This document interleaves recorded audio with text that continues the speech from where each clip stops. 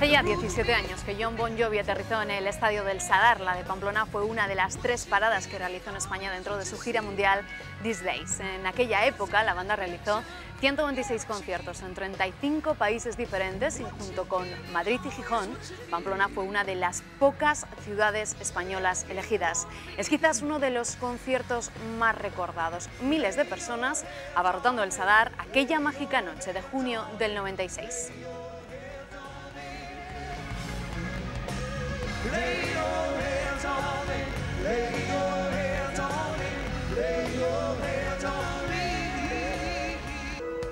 Un gran concierto, un megaconcierto de algunos de los que en Navarra hemos disfrutado. Hoy les invito a recordar alguno de esos grandes conciertos de grandes estrellas que han hecho parada en nuestra tierra. Si quieren, les propongo echar una mirada atrás para disfrutar de buena música.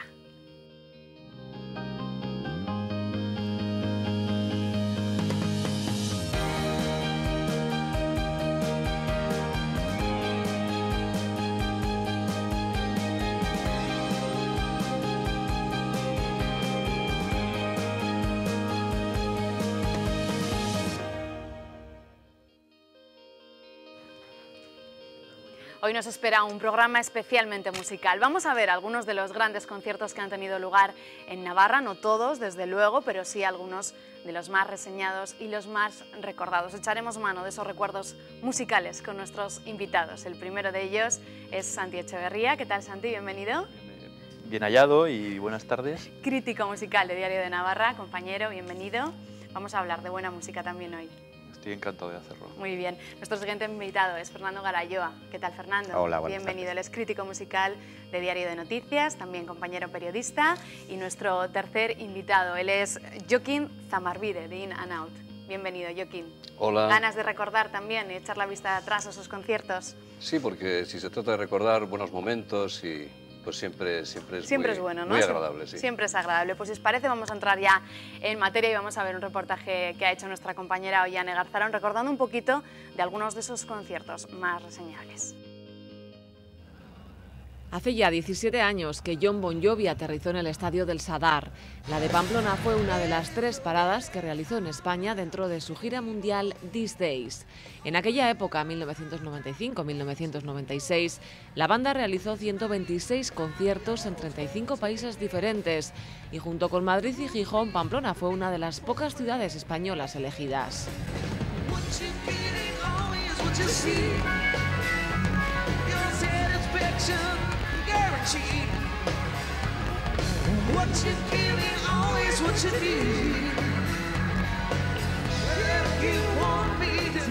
Es quizás uno de los conciertos más recordados. Miles de personas abarrotaron el estadio para ser cómplices de aquella inolvidable noche del 5 de junio de 1996.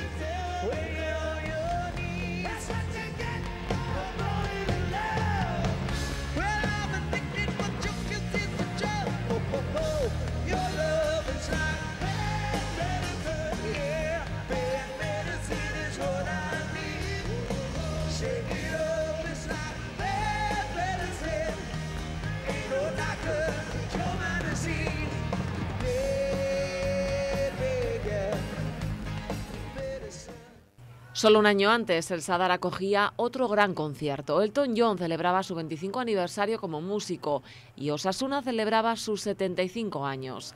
El cantante y compositor británico ofreció en Pamplona su único concierto en España y lo hizo en honor al Club Atlético Osasuna, que nunca había visto su estadio ocupado por un concierto. Unas 20.000 personas asistieron al evento que se alargó durante más de dos horas.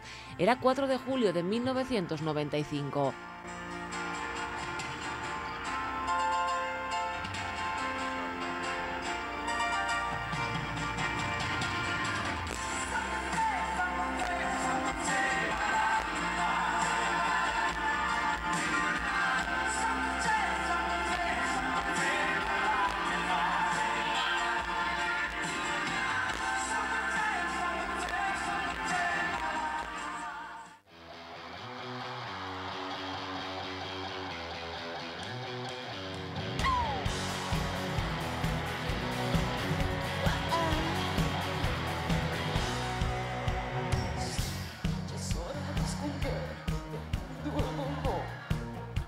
El hechizo de Shakira conquistó al público pamplonés. Era el 27 de junio de 2004. 15.000 personas abarrotaron la Plaza de Toros para corear los éxitos más conocidos de la colombiana, que colgó el cartel de No hay entradas.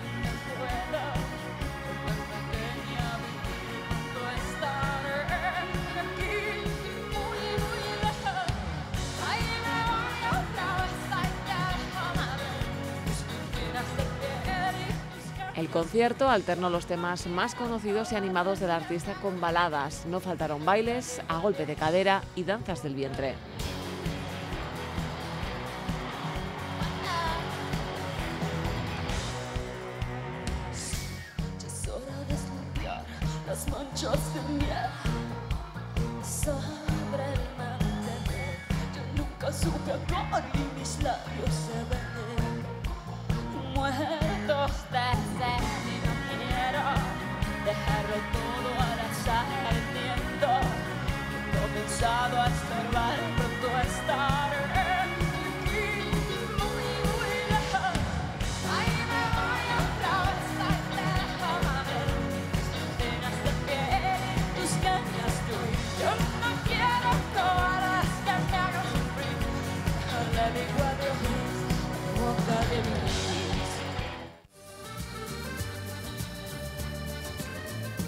Iglesias actuó en Pamplona el año pasado. Lo hizo en Baluarte.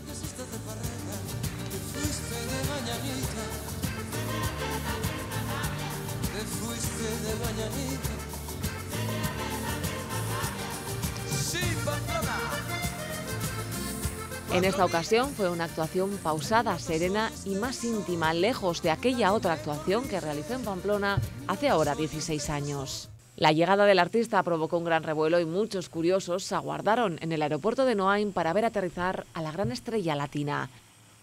Julio Iglesias viajó hasta Pamplona a bordo de un avión de líneas aéreas de Navarra.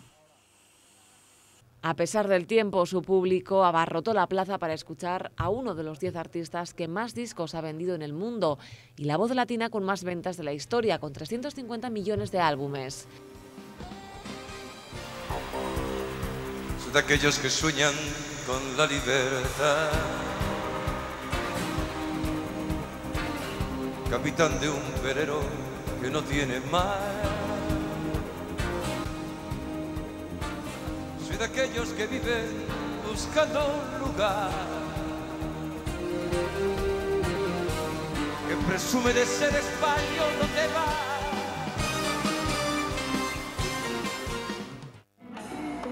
Me pides que regrese ahora, ahora, y ahora esa mía que no cariño.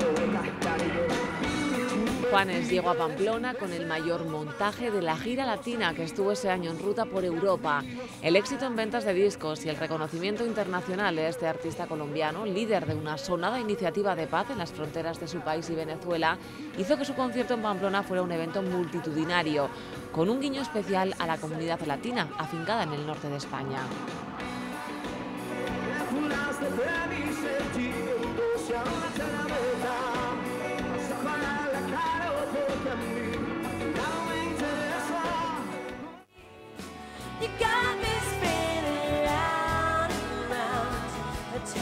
Y en 2004 el conjunto irlandés de Kors actuó en el pabellón Anaitasuna.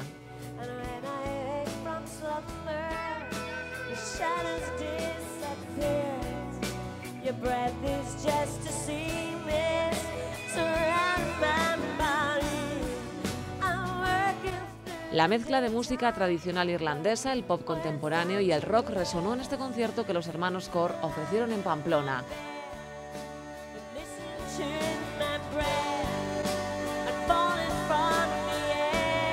Pero estos son solo algunos de los conciertos que se han celebrado en tierras navarras.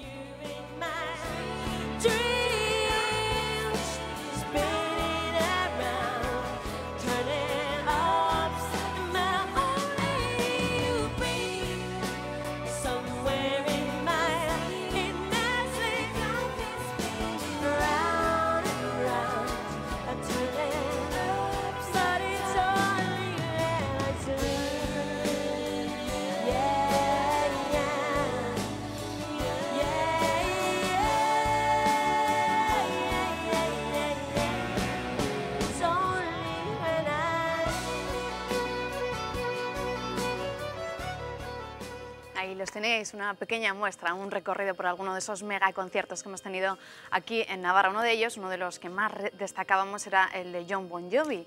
Santi, ¿cómo se consigue que John Bon Jovi, una de sus tres paradas en España, sea en, en Pamplona? Pues casi te lo podría decir mejor Joaquín, pero yo sé, yo sé que llevaban ya mucho tiempo detrás de traer un gran evento internacional y que eh, le dieron muy fuerte a la puerta de, de entonces Lacan para que pudiera patrocinar ese concierto, eh, teniendo en cuenta que era prácticamente seguro que el Sadar se iba a llenar, no solo de la gente de Navarra, que fue mayoritaria en ese concierto, sino también de mucha gente que vino de otros lugares. Entonces, hacer ese, en ese concierto 25.000 personas era lo lógico y con esos números, pues desde luego publicitariamente yo entiendo que en aquellos momentos que parece que el dinero tenía otro color y otro movimiento, pues fue posible traerlos aquí. Mm. Bueno, Joaquín, te he lanzado la pregunta a Santi, te la lanzo de otra vez. ¿Cómo fue posible traer a, Bon Jovi aquí a Pamplona?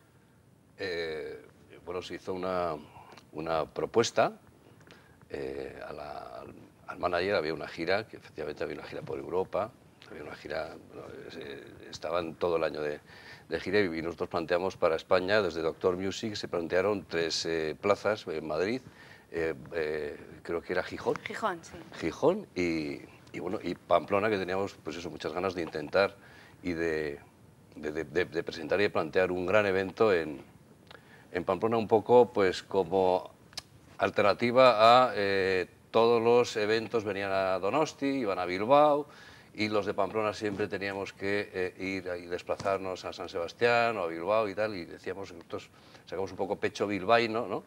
Y Caja Navarra retomó un poco también ese, ese, ese testigo y, y apostó pues porque ese gran evento, uno de, los, de, las, de las fechas importantes, se hiciera en, en Pamplona. Y bueno, fue fundamental porque a partir de ahí, digamos, convencimos también un poco a las autoridades eh, y al, eh, bueno, a, la, a la gente en general de que se puede, que Pamplona era capaz de, de albergar un gran concierto con garantías de seguridad y, y bien organizado y, bueno, pues eh, eso abrió también luego las puertas a uh, ya una, digamos, una programación de grandes eventos pues bastante interesante que se dieron en los siguientes, en los siguientes años. Por lo demás es cuestión de eh, llegar a un acuerdo sobre los cachés y, y- y, bueno, y plantear una producción que sea ok por parte del, del artista y por parte del, del manager y, y- y tener eso, tener, merecer su, su confianza y adelante. Y, bueno, y así fue.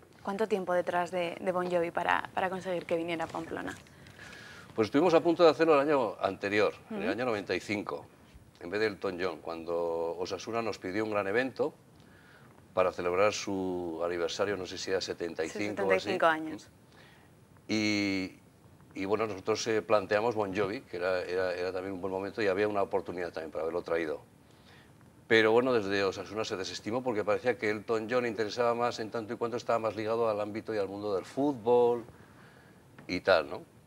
Y bueno, pues, eh, pues nosotros eh, trajimos el año anterior a Elton John por aquello de que era Osasuna quien encargaba y quien promovía el, el concierto y nosotros hicimos esa gestión y, Y, y- y así fue. Pero no obstante, pues eso, pues ya el año anterior estábamos un poquito detrás. Y el- el- en el año 96 ya nos dejamos pasar la oportunidad y dijimos, lo hacemos nosotros, venga.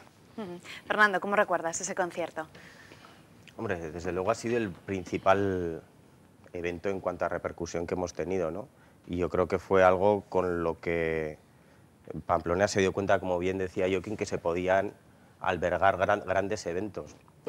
Pero de la misma manera creo que ha sido un poquito también eh, carrera, de, carrera de fondo, porque antes de Bon Jovi ya yo creo que sí que hay que recordar que, que en el 92 estuvo Dire Straits, que fue el primer acercamiento, que fue otro de los grandes conciertos, y todavía mucho antes, que quizás fue la primera gran cita, eh, vino aquí el Monster of Rock en el 88 con Iron Maiden y Metallica.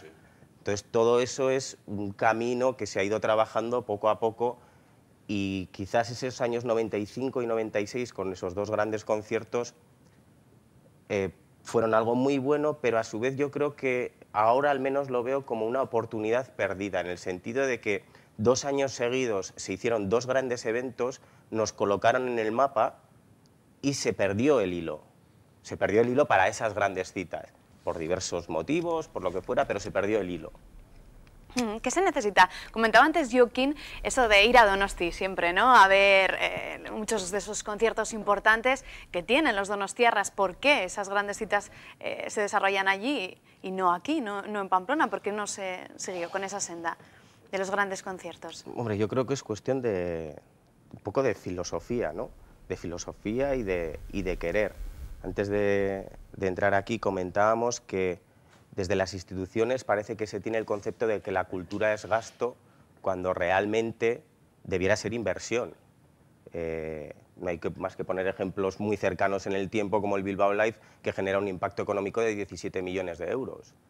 Sin embargo, aquí se tiene ese- esa visión de que esto es un gasto, de que no, no, o sea, mm, al margen de que es una inversión cultural para la educación de la gente, es un gran impacto económico el que se genera. Y yo creo que nos falta esa- ese, ese cambio de tuerca, ese, ese medio giro más para abrirnos, abrirnos y conseguir atraer esos eventos que, como decía antes, quizás esos años 95-96 en los que aquí todavía se movía el dinero de otra manera, como decía Santi, eh, nos colocaron en el mapa y nos pudieron hacer eh, traer otro tipo de eventos.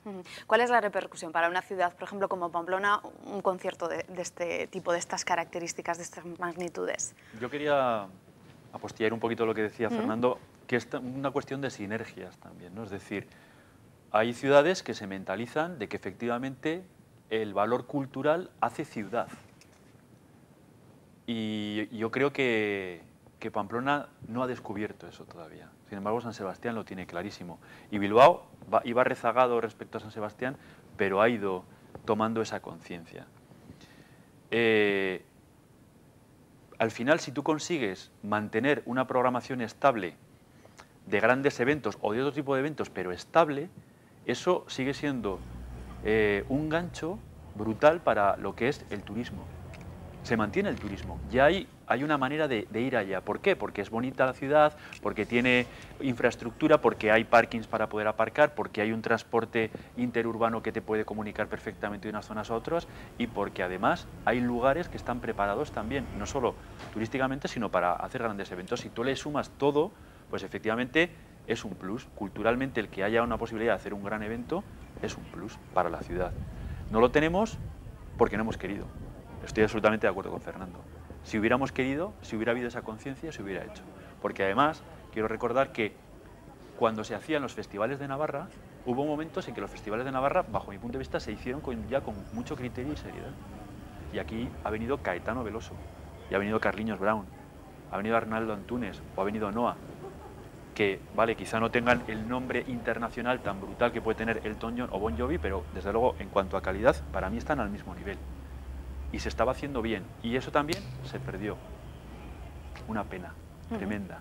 ¿La crisis tiene algo que ver con esto también o No. no lo achacáis? No, No. lo habéis nombrado, desde luego. No. La crisis, desde mi punto de vista, tiene algo, algo que ver en el sentido de que, por ejemplo, sí que está afectando muchísimo las medidas que se han tomado. Es decir, la medida del IVA cultural afecta muchísimo a los conciertos, Hay artistas, como muy bien sabe yo, como también sabe Santi, que ya no giran por España porque no, puede, no les compensa asumir un 21% de IVA, al que luego además le tienes que sumar el 10% del, del ASGAE, tienes que sumarle otro tipo de gastos, no les compensa venir.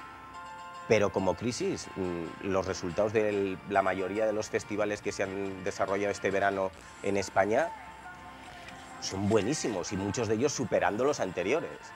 Los, tanto los de Costa como los que es el Sonorama, como cualquier otro, los resultados son buenísimos. La gente accede muchísimo y cada vez más va a ese número de citas. Entonces, lo de la crisis sí, en cuanto a las medidas que se han tomado, nos afecta. Pero la gente sigue respondiendo. Y, es, y no solo en los festivales, sino que si tú programas una buena cita, no te preocupes que vas a tener esa respuesta. En Kin estuve en Baluarte y tuvimos esa gran respuesta. Hemos tenido otras citas recientes, igual no de artistas internacionales, que, también los ha habido y tenemos buenas respuestas. Si tú ofreces algo bueno a la gente y a un precio que no sea desorbitado, eh, la gente responde. A mí me hace gracia también que cuando hay precios desorbitados para otro tipo de músicas clásicas, óperas, tal, la gente no se echa las manos a la cabeza y sin embargo, si te dicen que el precio de una entrada de un concierto de pop rock cuesta 40 euros, la gente se lleva las manos a la cabeza. Una Real Madrid cuesta 116, la más barata, ¿eh? ¿Cómo se programa, Joaquín, una cita, un gran evento de, de este tamaño? O sea, ¿cómo, cómo se comienza?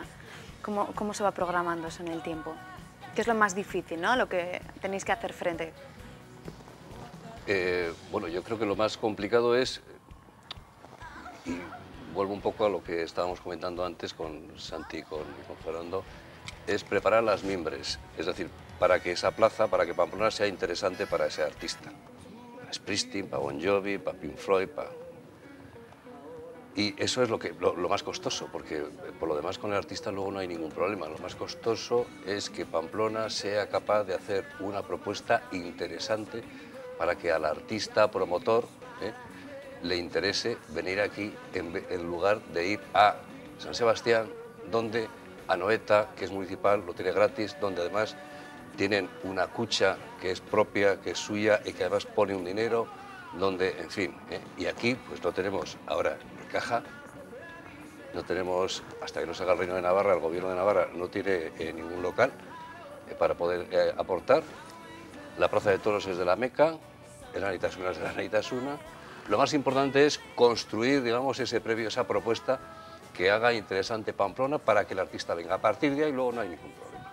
O sea, los artistas están cerca, de todos eh, los managers, los promotores europeos y americanos, todos nos conocemos y es cuestión de eh, que Pamplona pues, mm, haga una propuesta interesante sobre la competencia que también que tiene ahí.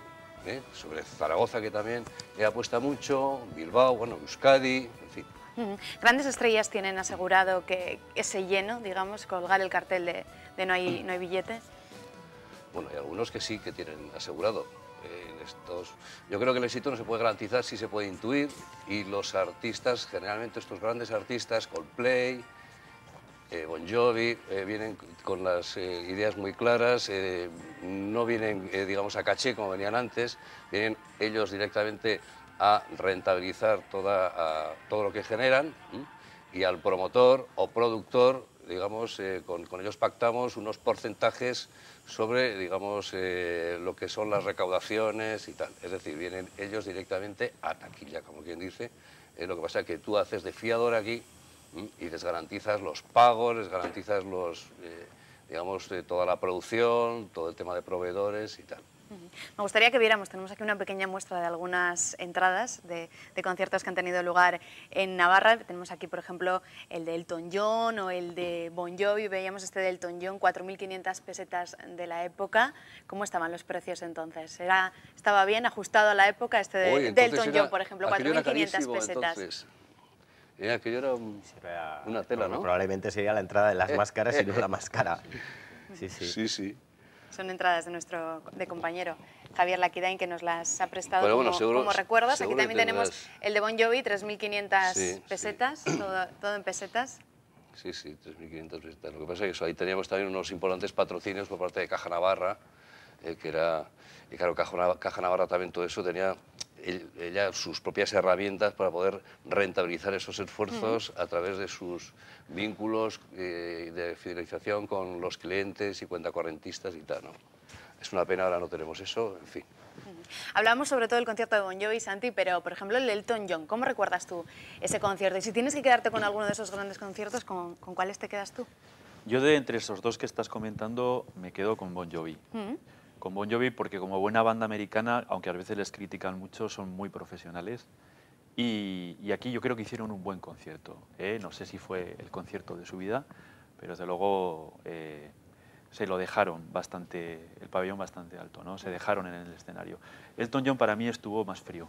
Fue un concierto largo, fue un concierto variado, repasó bastante el repertorio de, de su carrera para en aquel momento. claro, este hombre, pues fíjate la de discos que llevaba ya en el año 95, ¿no? Publicados.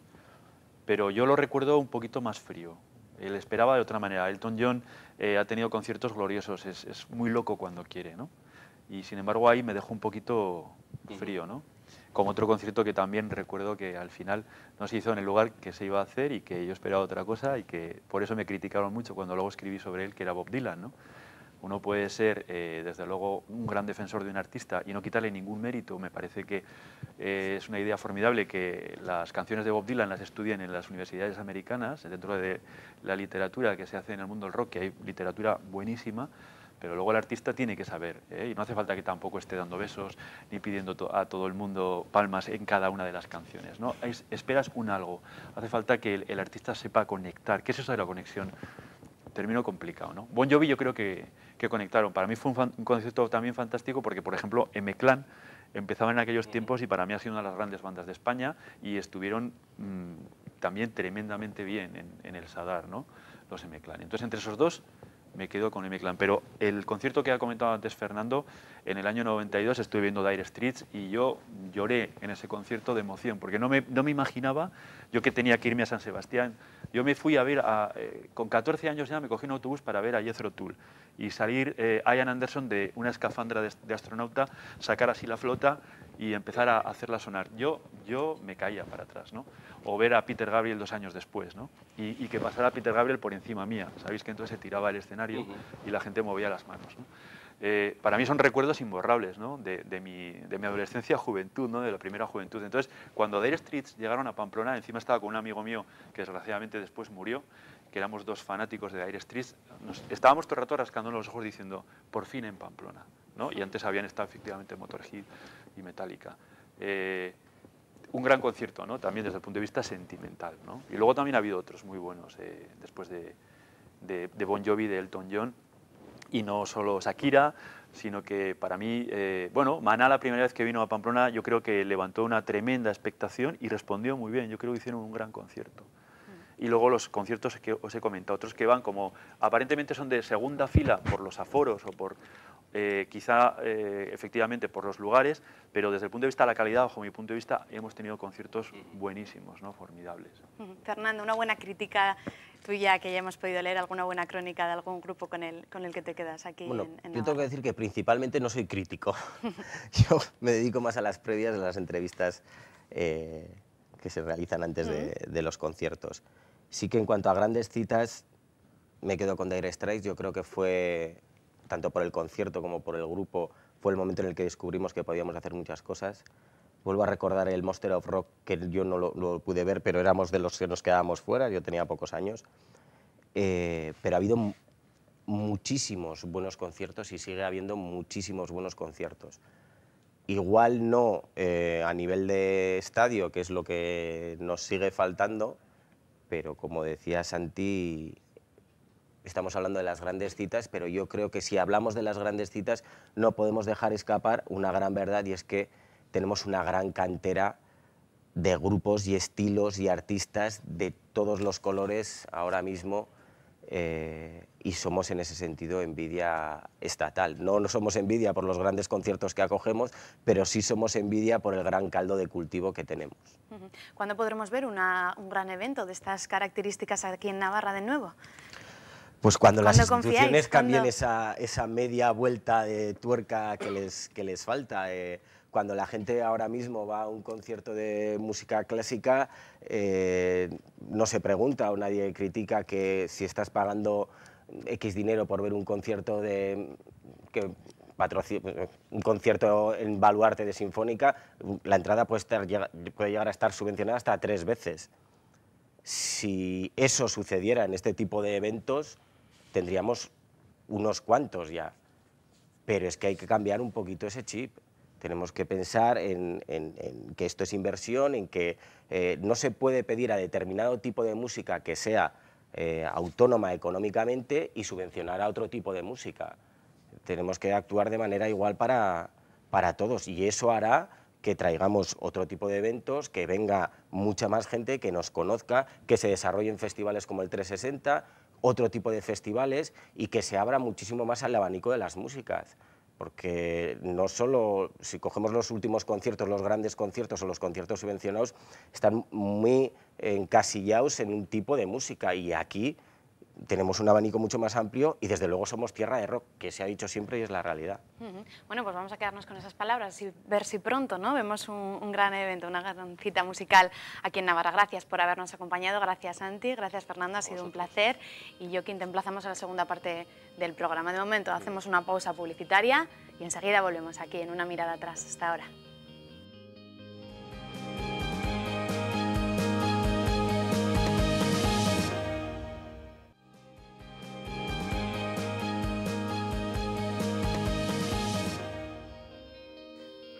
Los grandes conciertos, los grandes eventos musicales parece que han dado paso a conciertos más íntimos en escenarios más cálidos y cercanos. Y en la primera parte del programa abordábamos esos macro conciertos que han tenido lugar en Navarra. Ahora nos centramos en alguno de esos eventos a menor escala.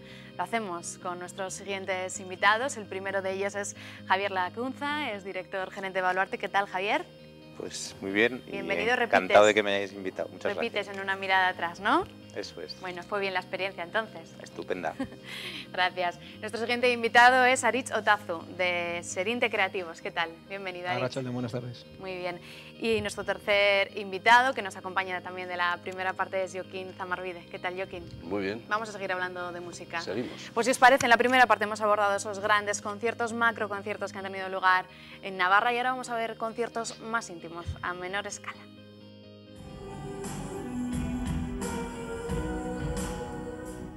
Mecano se separó en 1992 y en Pamplona ofrecieron uno de sus últimos conciertos. Cuatro años después de la disolución del grupo, uno de sus integrantes, Nacho Cano, actuó en el Teatro Gallarre, donde mostró su trabajo en solitario, un primer y extraordinario álbum de carácter instrumental.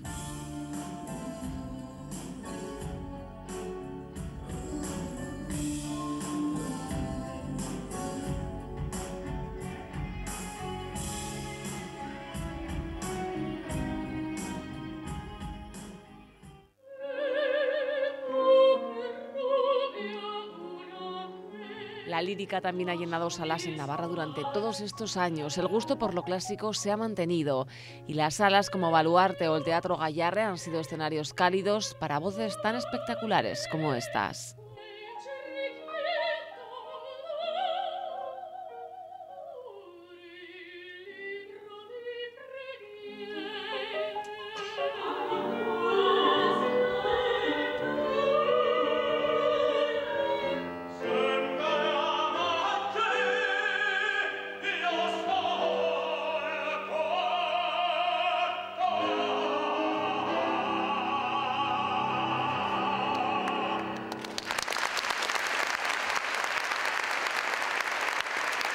Buenas noches, Pamplona.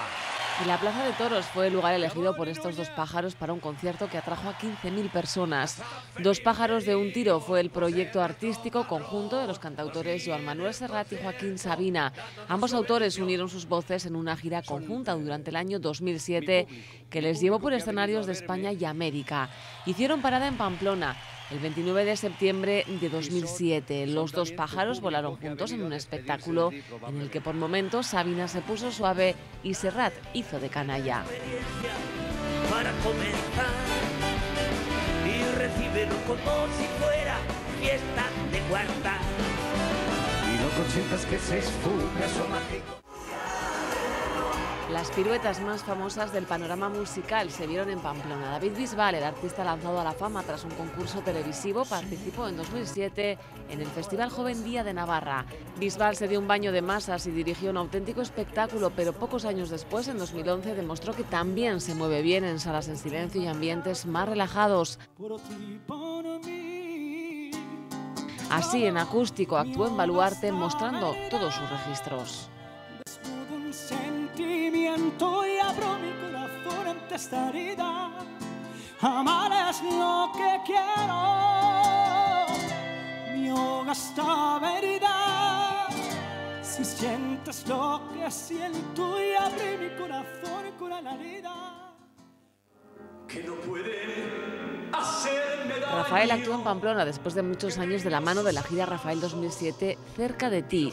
El artista de Linares hizo parada en la capital navarra para ofrecer en Baluarte un único concierto antes de continuar un periplo que le llevaría por una treintena de ciudades españolas antes de cruzar el Océano Atlántico para actuar en México. Su voz prodigiosa y su particular manera de interpretar han sido sus principales armas para poder permanecer año tras año como figura indiscutible entre los cantantes de habla hispana, con un sello genuino y muy personal. de todo lo que en el mundo yo he amado. Como a todos se me olvida. Andrés Calamaro presentó su disco de estudio La Lengua Popular en Pamplona en junio de 2008. Lo hizo en este concierto que ofreció la Universidad Pública de Navarra. En esta gira, el artista argentino descubrió sus nuevas canciones ante el público pamplonés y recordó algunos de los grandes éxitos de su carrera.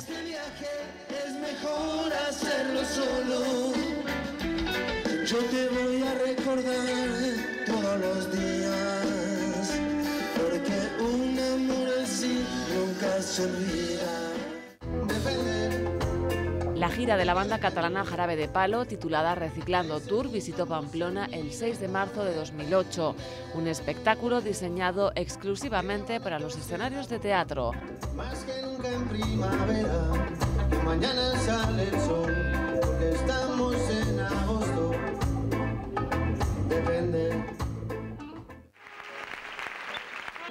El director de cine Woody Allen ha traído el sonido de su clarinete y su banda, la New Orleans Jazz, a Pamplona. Estuvo en Baluarte en 2009 dando la bienvenida a la temporada, mostrando su pasión por el jazz y el swing tradicional. El director de cine reconocía que la gente no venía a escucharle, sino a verle. Sin embargo, su concierto atrajo a 1.500 personas que no dejaron de aplaudir al Woody Allen más musical.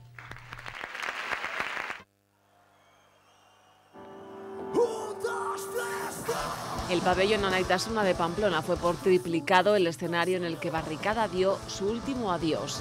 El mítico grupo navarro protagonizó tres jornadas históricas en su despedida de los escenarios. Con estos conciertos en los que se agotaron las entradas, pusieron punto final a 30 años de rock. Una despedida épica ante un público entregado que sin embargo no pudo disfrutar del drogas ni despedirse del que fuera líder de barricada durante décadas. Un grupo que sacó al mercado 30 discos y vendió más de un millón de copias.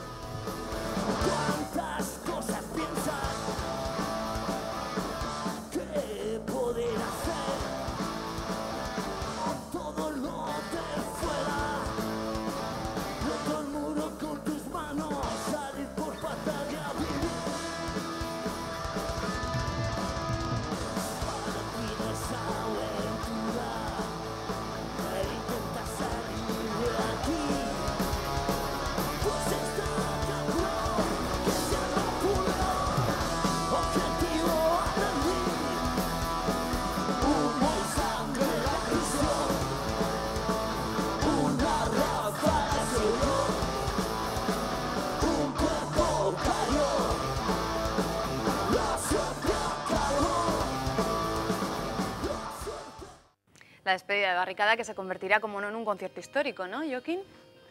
Eh, sí, sí, sí, claro.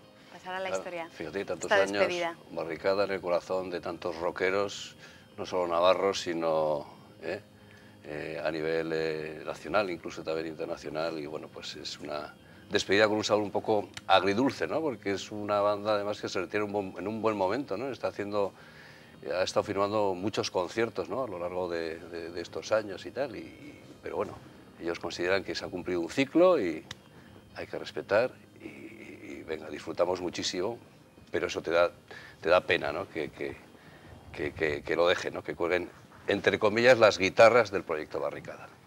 Bueno, veíamos al principio de- del programa esos macroconciertos. ¿Qué diferencia hay a la hora de programar eh, conciertos de ese tipo con estos ya a más pequeña escala? Hoy, pues es mucho más cómodo. Tú vas al Teatro Gallarre, vas a Baluarte y lo tienes todo montado. El escenario está allá, la taquilla, la taquillera, los acomodadores. Es una maravilla. Pones los equipos, a veces incluso los equipos que tienen los teatros y los auditorios, en este caso Baluarte, eh, pues son magníficos y puedes aprovechar gran parte de ellos. Es, mucho, es muy cómodo, es muy cómodo y luego lo que tienes es otro clima el que se consigue, otra atmósfera, otro ambiente en el concierto, cercanía, proximidad, artista, complicidad con el público. eh, son unas catarsis muy especiales las que se pueden vivir en, en esas bomboneras. Aritz, ¿cómo lo ves tú? Bueno, yo, yo diría que esto que comenta Joaquín es verdad. Son conciertos mucho más cómodos el hacer un baluarte o hacer un gallar antes que una plaza de toros o una itasuna, por eso mismo y porque también, eh, y eso lo tenemos que ver, hay muy buenos técnicos en Navarra, buenísimos técnicos en Navarra, porque vas a otros sitios, no a todos evidentemente, de esos mismos aforos y te encuentras a veces cada sorpresa y poca colaboración. Aquí realmente eh, la gente, los técnicos que hay en Navarra, de sonido, de iluminación, son técnicos muy buenos. Y entonces, evidentemente, para un promotor que nos estamos jugando todo en dos horas, todo esa noche, pues evidentemente es una tranquilidad y está claro que es menos tensión. Y para nosotros, pues un placer poder trabajar en esos sitios. ¿no? ¿Es más arriesgado o menos arriesgado? ¿Es una apuesta segura este tipo de conciertos o no lo es? No, no. Eh, una apuesta segura, bajo mi punto de vista, no es nada en un evento, porque confluyen mil historias, ¿no? Entonces, eh, a la hora de realizar un evento, pues nunca sabes, incluso en, en sitios como Donosti, como, como Bilbao, sean más grandes o más pequeños, que siempre a veces estamos con lo mismo. Esto es más grande, va a ir más gente. Esto es más pequeño, va a ir menos gente. No tiene por qué. Hay muchas veces que hay eventos, eh, como bien sabe Joaquín, que tienen esto una experiencia brutal, pues que a 90 kilómetros no funciona y aquí funciona, o al revés. Entonces, a la hora de hacer un evento, mm, intentas, lo cierras con mucho tiempo, intentas que confluyan todas las cosas para que funcione y por diversos motivos pues puede pasar que te vaya mejor o peor. Un artista de primerísimo nivel es muy complicado que te falle. Pero ya cuando vamos a otros artistas, no que sean de segundo nivel, sino diferentes, con menos público, pues pueden pasar cosas como por ejemplo que juegue Osasuna con el Madrid, que haya, que haya otros eventos y más en estos momentos que la gente no se acerca tanto como se acercaba antes a, a los conciertos, ¿no? de todo tipo, de Mm. todo tipo. Se planifica un concierto de estas características, llega el momento de poner el precio de la entrada. ¿Qué se valora? ¿Cómo se valora a la hora de lanzar los precios de las entradas? Bueno, la gente, mucha gente valora que queremos ganar mucho los promotores. Y si supieran realmente eh, lo que te llevas de una entrada, ahora mismo con la subida brutal del IVA, que es el 21%, y no es excusarnos, sino que ahora mismo en una entrada tienes un 35% de impuestos. Tienes que pagar la Sociedad General de Autores, el 10. Tienes que pagar el 21 de IVA y luego tienes que pagar los canales de venta que son un 2, un 3, un 5, dependiendo. Entonces, a la hora de poner una entrada se valora el caché que pagas por el artista, lo que te cobran ese auditorio, ese teatro, lo que te cuestan los técnicos, si los pone el auditorio, si los traes tú, qué publicidad vas a hacer, cómo la vas a hacer, en qué medios, todo ese compendio de cosas se valora a la hora de poner una entrada. Luego pones la entrada, cruzas los dedos y a ver si funciona. Y te sale una buena noche y te vas a casa y, nadie tiene que pagar tus, tus enfados o, o tus alegrías, ¿no? Pero se valoran muchísimas cosas a la hora de poner precio de una entrada. Bueno, también hemos visto en Navarra situaciones de anunciar un concierto y luego tener que retirarlo po- porque no se han vendido esas entradas. Sucedió con Alejandro Sanz hace no sé Sí. exactamente cuántos años. ¿Cómo, cómo fue ese tema? Ah, pues eh, el caso de Alejandro Sanz te lo puedo explicar yo, muy bien. Eh, no se había vendido el aforo suficiente, Alejandro Sanz asumía una parte importante también de ese riesgo como promotor. Ahora hay muchos artistas que están, eh, obviamente necesitan eh, tocar, actuar y tal, y la fórmula caché en algunos eh, sirve y funciona, en otros no. Tienen que venir a asumir una parte del riesgo y a, a- a asumir también eh, su éxito, su grado de éxito en la recaudación que es capaz de generar. ¿no? Y bueno, pues eh, los resultados no eran buenos, el montaje que traía era realmente muy potente, era muy caro y eh, decidió pues que no se celebraba y que no se celebraba y no se celebró y bueno y yo creo que las cosas hay que decirlas además sin, sin tapujos y sin ningún tipo de, de- de, digamos de, de- enmas- enmascare, ¿me entiendes? No hay que enmascararla, sino este concierto no se puede dar porque no se han vendido entradas, no hay aforo suficiente. Eh, pero es que, eh, claro, ahora mismo los artistas están tomando un poco las riendas de lo que es el negocio en sí, ¿no? Eh, parte, parte de ellos y se están dando cuenta de, de cómo está la, la cosita, claro. Artistas que ahora confían sus beneficios, digamos, en los conciertos y no en la venta de discos. Sí, claro, sí, sí, sí. Las cosas han cambiado, ¿no? Sí, sí, sí. Ahora pues, los conciertos son los que mueven también todo el negocio, digamos, de derechos de autor, también, obviamente también los conciertos y las, los, eh, las retransmisiones en streaming y pues generan también eh, mucho impacto eh, a nivel de, de promoción, a nivel también de eh, royalties con las compañías de discos. Ahora hay, hay una especie de todo uno que se genera en torno al artista y es que la compañía es la compañía discográfica, es el manager, es la editora, entonces eh, todo gira en torno al haber, eh, des- haberse desfenestrado, digamos, lo que es el concepto soporte físico, el CD ya no se vende, todo gira en torno a lo que es el directo, ¿no? y, y todo el negocio se, se genera a través del directo. Javier, vamos a hablar de, de ese otro gran escenario, de Baluarte. ¿Cómo se programa? ¿Cómo os enfrentáis a una programación de Baluarte cada año? Bueno, aquí hay que explicar, hay que explicar muchas cosas y, y creo que hay que alabar el papel de estos señores de aquí, Ujú. que son los que se juegan en muchos casos mucho dinero para poder, para poder traer gente a, a Pamplona. ¿eh? Porque hay, hay, hay dos cosas, dos situaciones muy diferenciadas que muchas veces la gente no conoce. ¿no? Uno es lo que es la programación propia del teatro, donde efectivamente se cuenta con unos recursos, tanto públicos como privados, a través del patrocinio, en nuestro caso de la Fundación Baluarte, para efectivamente no repercutir todo el coste de, cachés eh, técnicos, etcétera, en lo que es el precio de la entrada. Mientras que estos señores eh, necesitan hacer frente a los costes de cachés, a los costes que yo como teatro eh, impongo por los técnicos que aporto, etcétera, etcétera, eh, y a otra serie de, de técnicos que puedan aportar ellos externamente, y sobre la base de la taquilla tienen que rentabilizar el espectáculo. Por tanto, pues situaciones como la de Julio Iglesias del año pasado, ¿no? con unos cachés elevadísimos, pues la única manera que tienes de repercutir en un, en un aforo de 1.568 butacas como tenemos nosotros es poniendo precios muy elevados, pues entre 100 y, y 200 euros como, como sucedió.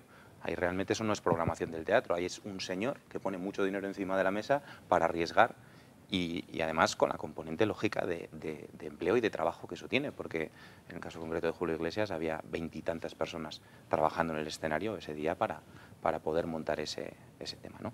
En el caso concreto de lo que es la programación propia, nosotros tratamos de lo que es la Fundación Baluarte, que es eh, el ente que se encarga de la programación propia del teatro, lo que trata es, hay dos ciclos principales, primavera y otoño, y se trata de programar de todo un poco. La SGAE define cinco artes escénicas, el, el teatro, la danza, la lírica, la música clásica y la música popular o amplificada, y tratamos de que en todas las temporadas haya componentes de una o de otra. Eh, hablabais eh, un poco antes de, Pamplona ¿no? y de esa posibilidad de grandes eventos. Bueno, Pamplona a día de hoy, eh, y con el caso concreto de Baluarte, a nivel eh, en aspectos quizás más clásicos, más vinculados a la música clásica o a la lírica, tiene un posicionamiento muy bueno a nivel, a nivel nacional. Pues Filip Jaruski, 29 de octubre, eh, Liceo de Barcelona, Auditorio Nacional de Madrid y, y Baluarte Pamplona. ¿no? Y esto no es excepcional, o sea, te quiero decir, están viniendo eh, primeras filas, pues eh, Cecilia Bartoli, eh, eh, Filip Jaruski, en fin, están viniendo los mejores, Julia Fischer ahora, ¿no? una de las, posiblemente la mejor violinista del mundo. Eh, nos falta, nos falta efectivamente, como Pamplona y como ciudad, una mayor repercusión en otro tipo de músicas. El problema es que ese tipo de músicas, en un aforo de 1.568 butacas, pues la capacidad que tienes es limitada. Trajimos a King en... eh, lo he echado de menos en el, en el resumen que habéis hecho porque me pareció pues una actuación muy, importante, ¿no? 23 de octubre del 2012, una gira que efectivamente Madrid, Barcelona y Pamplona, de nuevo un poco a, ese nivel. ¿no? Eh, nosotros no somos eh, ajenos a esa capacidad de traer en esas giras eh, artistas internacionales de primera fila también en el entorno del pop rock, pero nos ha pasado recientemente pues, tener una, un tema ya cerrado y decidir el artista no venir a España por el 21% del IVA. Entonces, eh, esto es, es complicado de digerir. ¿no? En ese sentido, nosotros desde Baluarte también estamos haciendo una apuesta por diversificar en formatos y en géneros, de tal manera que el pop rock, eh, folk, blues, etcétera, tengan una mayor eh, presencia en lo que es la programación propia del auditorio pero en, en muchos casos nos topamos con la limitación de que 1.568 butacas pues es un aforo muy chiquito para atraer pues esos Bon Jovis y esos eh, Juanes, etcétera, que, que comentabais antes. ¿no? Pero bueno, da respuesta a otro tipo de, de conciertos y a otro tipo de necesidades. Sí, no, no, y de hecho el- la diversificación en, géneros, en estilos y en formatos en, en Baluarte es un hecho. En el último año vamos a acabar el año con 183 espectáculos, eh, 52 de los cuales se han desarrollado en la sala de cámara, ¿no? que era un, espacio escénico que hasta hace año y medio estaba, cerrado, era únicamente un, recinto congresual. En ese sentido se está produciendo una, evolución y la presencia de, otro tipo de músicas ha, visto un, un crecimiento pues, eh, muy importante. ¿no? Eh, a mí me gustaría poder tener tres o cuatro citas al año. Hemos tenido a Steve Bay este año, hemos tenido la apertura de Duncan Du. Eh, seguramente pues, no están a la altura de un Bon Jovi en términos de repercusión, eh, pero bueno, estamos ahí, estamos buscando y, y, bueno, y esperamos que, que haya resultados ¿no? en un futuro próximo. Mm, Aris, ¿tú alguna cita así musical que te gustaría ver en Pamplona, traer hasta Pamplona? Que me gustaría ver son tantas y yo creo que Vamos a eso- decir- quedarnos con una al menos, vamos a decir una. Hombre, pues, pues no te la voy a decir. Mira, no te la voy a decir. Como estamos en ello, no te la voy a decir. Ah, bueno, si estáis en ello. Pero, pero sí te digo que en Pamplona, eh, hablando un poquito de cómo está el tema, sobre todo aquí en Navarra, Sí. yo veo que tiene que haber una confluencia de gentes. Por ejemplo, yo voy a romper una lanza, así como la ha hecho por nosotros, por señor Javier Lacunza, que ha entrado en Baluarte con una política totalmente diferente a la que había. Totalmente diferente. Se lo digo yo a título personal, Mm. como Serinte, como encargado de Serinte, de que lo que necesitábamos es hablar entre nosotros. O sea, hablar porque, como te he dicho antes, en un espectáculo entra el sitio donde lo vas a hacer, ese continente lo vas a hacer, el promotor, el artista, un poquito todo. Cuando logremos entre todos, tampoco te estoy diciendo reunirnos que no somos 80 en esto, hablar un poquito de qué tenemos que traer. Lo que pasó, por ejemplo, yo vi en el 2007. En el 2007 hubo tres o cuatro espectáculos, tres, recuerdo, en la Plaza de Toros, prácticamente seguidos, prácticamente seguidos. Y más o menos funcionaron los tres. Yo quería redundar en lo de antes, de que muchas veces hablas con gente y te dice de que Pamplona es muy pequeño, de que esto, o con políticos, que esto no va a funcionar, que sí va a funcionar. El político tiene un medio espantoso al que un evento no funcione. Entonces, lo más fácil es no lo hago. Y eso no es así. O sea, yo pienso, soy de, de las personas que pienso que sin cultura no se puede vivir. Lo que ha dicho antes Fernando Garayoa, la cultura no es un gasto. O sea, no es un gasto. Y hasta que nos demos cuenta o se den cuenta de eso, pues aquí vendrán eventos de un nivel pues medio. ¿Pueden venir eventos de un nivel alto? Por supuestísimo. ¿Para qué se ha hecho el Reino Arena?